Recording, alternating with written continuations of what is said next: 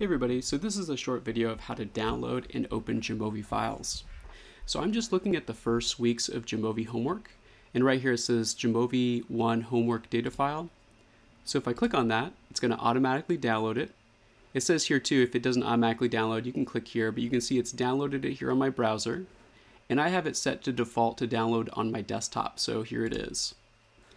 So one way you can open this is if you go to the Cloud Jamovi application, which is just cloud.jamovi.org. You can come up here to this little three dashes, click open, and then you want to click this device, meaning your computer.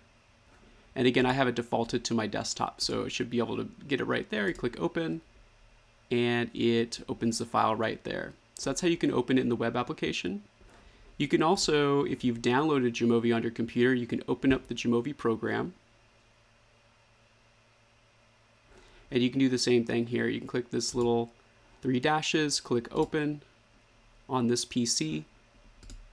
I'll click browse so it shows my desktop. And if I click open, it should open it.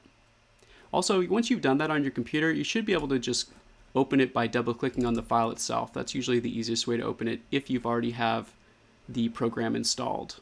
So that's how you can download and open Jamovi files.